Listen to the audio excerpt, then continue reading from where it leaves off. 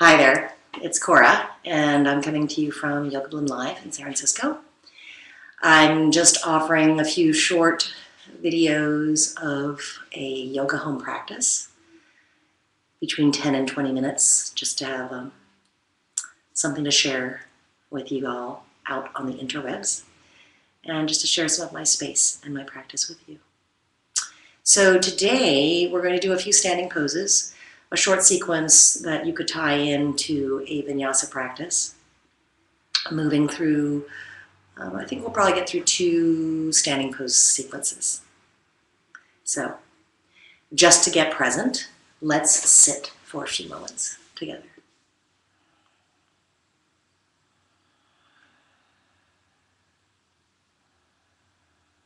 So just come into a comfortable position. We'll just sit for a few moments.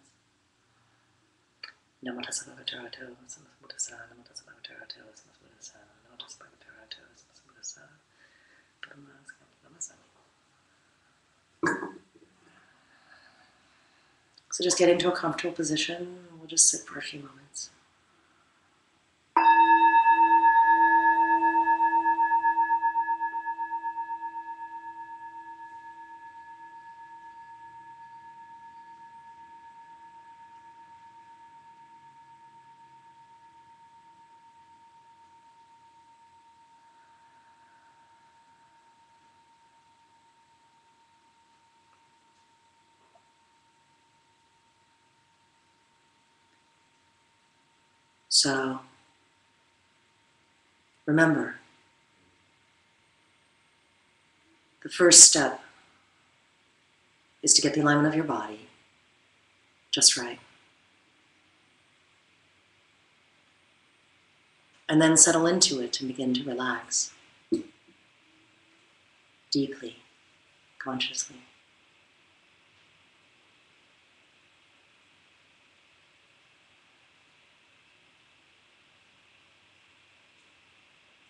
Take a moment and let yourself settle down. Find your breath.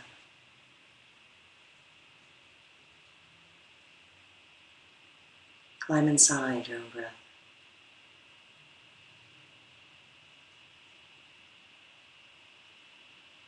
And then relax.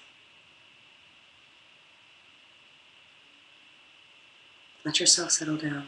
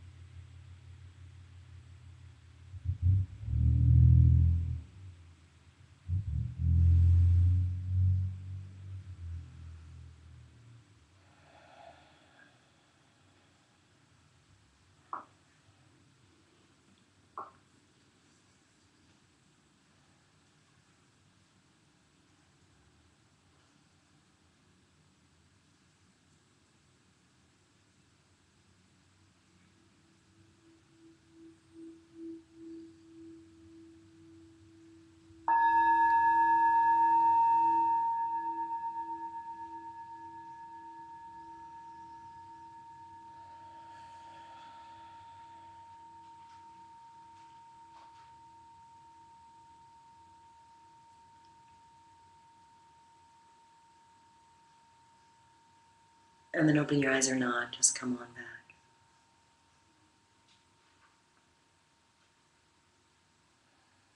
And then we'll start. So, I'm going to come over here.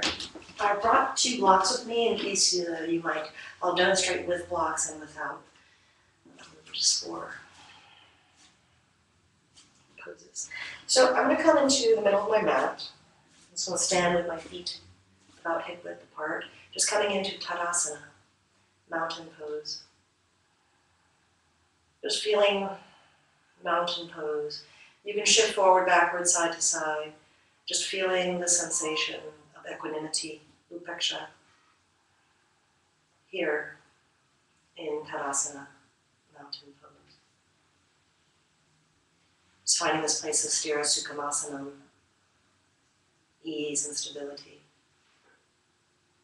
Don't ever think that you're wasting time in Tadasana. It's a great place to practice, finding that ease and stability.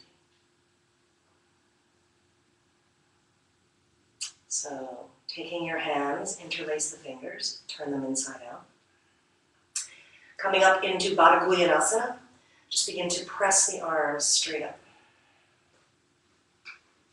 So, I'm just going to move back so you can see me.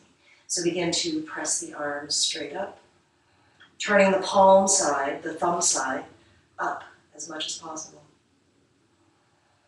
And now keep lifting up so that you're lifting up so that the heels are all the way up. And now, keeping the heels lifted up, I'm just going to turn to the side so you can see. Keeping the heels lifted up.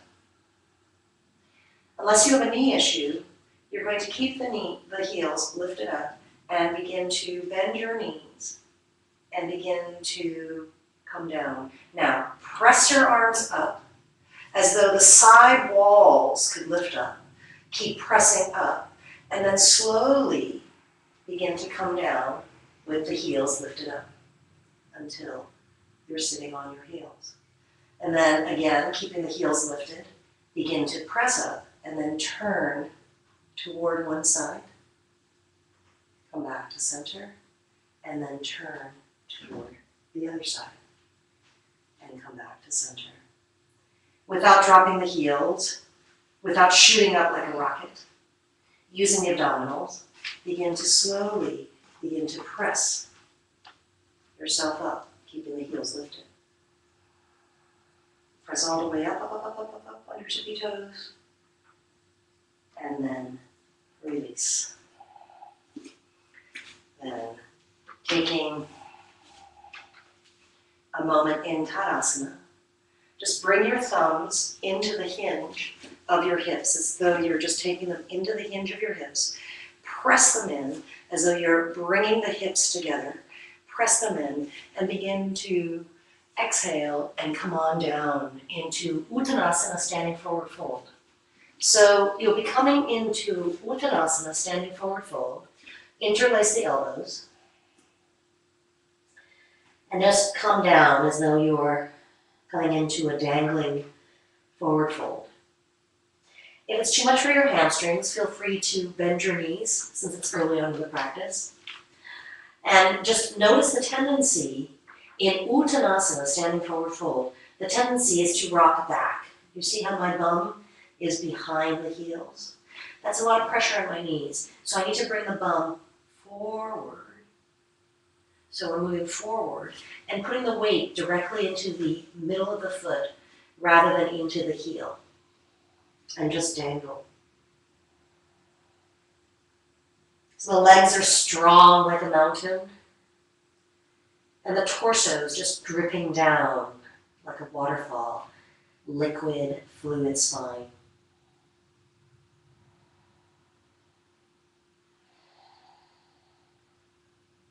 Now bend your knees until your chest and thighs meet one another. Release your arms. Interlace the fingers. Now, whatever you just did, switch the hand so that you're interlacing the other fingers. Begin to roll the shoulders back as you inhale, and as you exhale, take the arms up and over. Inhale, roll those shoulders back, and as you exhale, take them up and over. One more time. Inhale and exhale. Then releasing your hands, just begin to bend your knees and come down into Malasana, squatting pose. Notice the tendency is to collapse down. See if you can lift up, lengthen the spine down,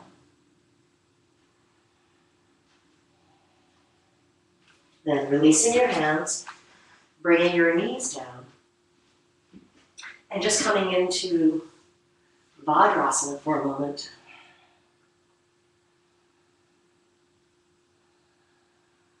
In Vajrasana,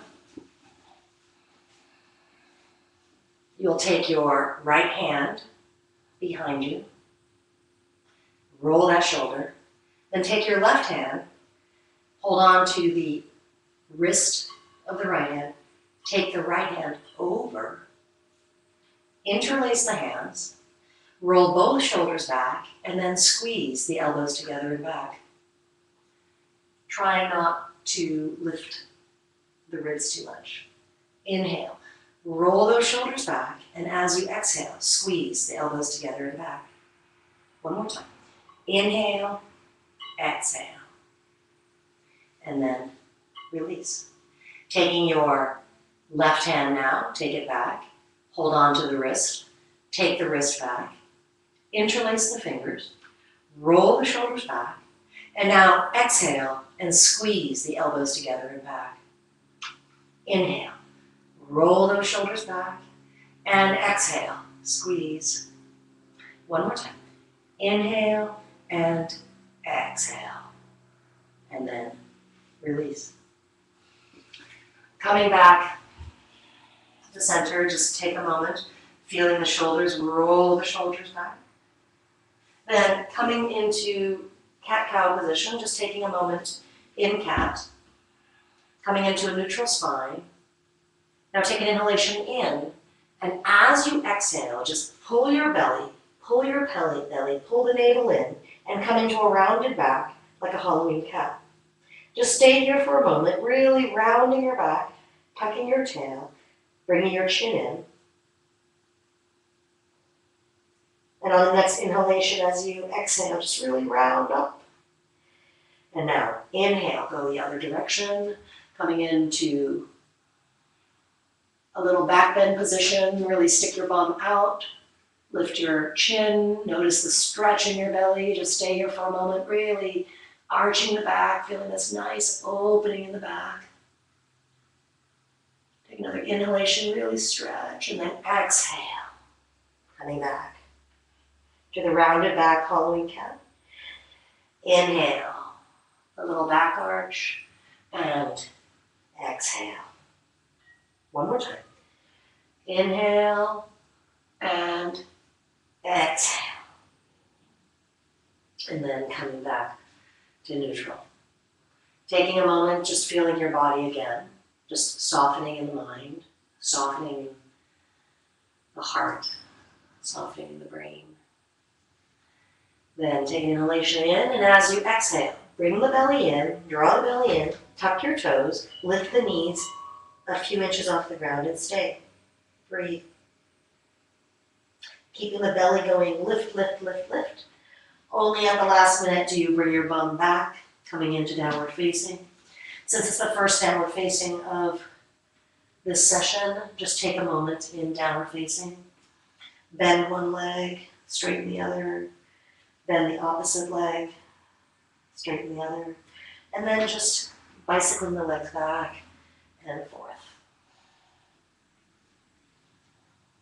Until you're ready to descend both heels toward the ground. So you can stay here a moment.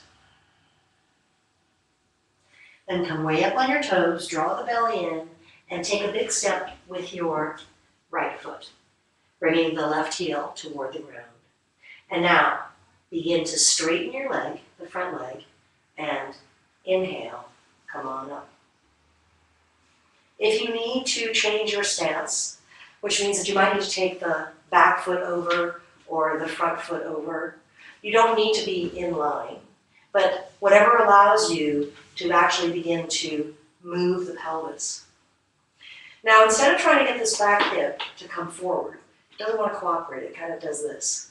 So instead of trying to press this hip forward, instead, bring your attention to the front leg and imagine that you could pull this front leg into the body, as though this front leg could come into the body more.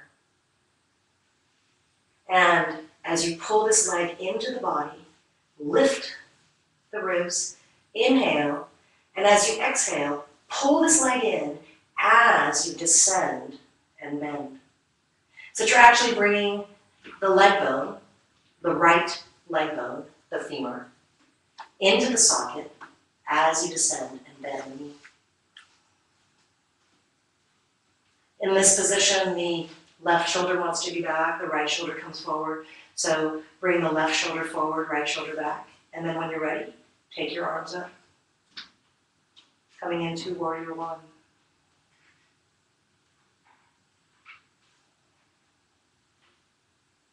Staying a few moments in warrior one, attending to the back leg, attending to the lift, descend, and then placing your hands by your front foot. You can step the back leg in or not. You can step the back leg in and slowly begin to come into Parsvottanasana, side Uttanasana, intense side stretch, pyramid pose. Coming on your hands, you can also use blocks here. You can come onto the blocks to have more room. Again, you're drawing this front leg in.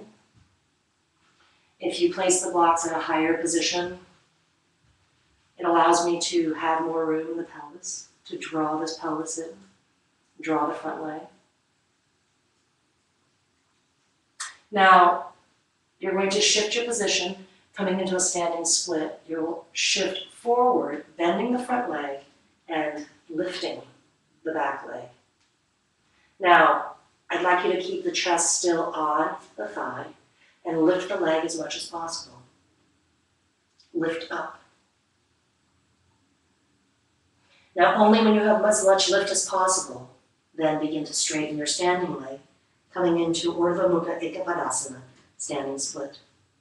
Lift the leg. And now, take the leg back down. Coming into Uttanasana. Taking a moment here in standing forward fold. You're going to be moving now, taking the other leg backward. So the right leg was forward. You'll now take the right leg back. You'll bend the leg and lift the leg as much as possible. Lift the leg, lift the leg. When you cannot lift anymore, begin to straighten that front leg, standing leg coming into Urdhva Mukha Ekapadasana, standing split on the other side. Lift the leg. Then, coming back into Parsvottanasana.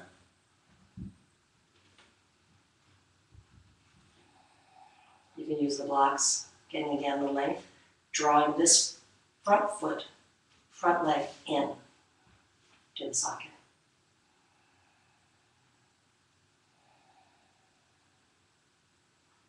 Of course, you can come into the full pose if you want to, but I'm more looking for action in the hip joint than just the hamstring. And from here, you can wriggle your foot back if you want to. And again, you're going to come up with straight legs, strong middle, straight legs. Drawing this front leg in. Keep drawing the front leg in.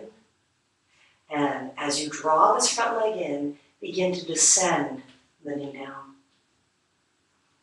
The energy is in this back leg, outer edge of the back leg. Keep drawing the front femur in. The more it comes in, the more the hip can turn. Keep drawing the belly in, ribs in. And when you have your full alignment, taking your arms up, coming into Virabhadrasana 1. Not so much looking for the square, but looking for drawing this bone in, in. As it comes in, my pelvis turns.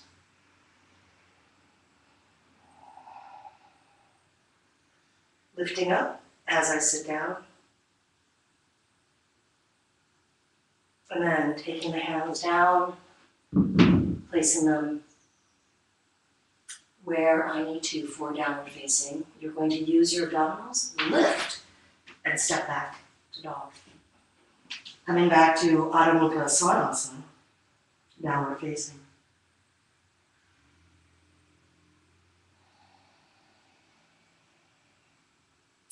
So instead of chaturanga here, I'm going to do another sequence. You're going to wriggle your feet back a few inches, come way up on your toes, draw the belly in, draw the belly in, keep on drawing the belly in until you come into Cobra, Bhujangasana. Once you're there, bend the elbows, shrug the shoulders, hug the elbows in, chin down, strengthen the chest, the back, press the feet into the ground, lift the chest, pick up your hands, place them back down, shrug your shoulders, hug your elbows, chin down, strengthen the back, lift up. Now, lift your legs. Now, lift up, then tucking your toes, come back to downward facing. And just take a moment here.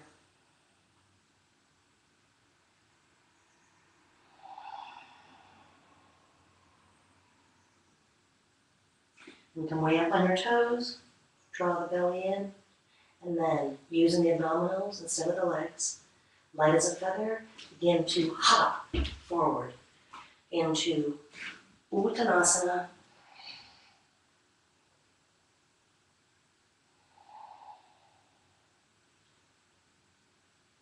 And again, noticing the tendency to shift back, bring your bum forward.